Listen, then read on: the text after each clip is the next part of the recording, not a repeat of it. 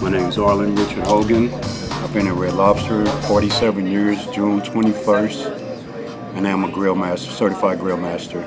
Opened 32 Red Lobsters, and uh, that's about it. I tell you what,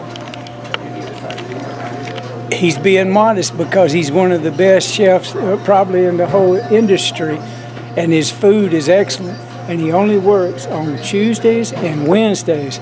So if you want to take part in uh, his expertise, I, for one, can tell you it's well worth it. You're a master at what you do, and I really appreciate knowing you here. Thank you very much. I'm glad you came back, man. It's been a while. Yeah. I know you be out moving around and stuff. Yeah, well, I'll be back. Yeah. We oh. will be back, and, I, Okay. and I'm telling everybody that wants to talk to me about it and put it on my channel that this is a place to come. Alrighty. Especially when you're cooking. I'll be here. You do that some kind of really good with that salmon. I don't know, man. You got I'm- it tasting good. I've been doing it forever, though, you know, Yeah. for a while. Appreciate you. I appreciate you. Tell coming us your name one more time. Harlan Richard Hogan. Here in, 47 years, June 21st. I believe that's the longest person in in uh, Red Lobster.